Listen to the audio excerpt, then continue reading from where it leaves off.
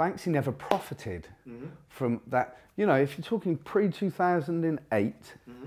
you know, okay, towards 2008, the work started to sell for more money. But you're talking, when I say more money, you're talking maybe £60,000.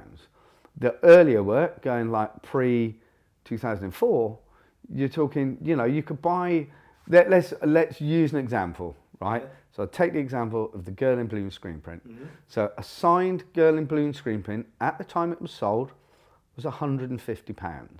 Banksy made between 60 to 70% of that money, right? So Banksy made maybe 100 quid, right? It sells today for £180,000. Banksy doesn't get any of that £180,000. So everyone's like, oh yes, well, he must be worth like 500 million pounds. Well, that's not the case because he didn't get any of that money back in the day.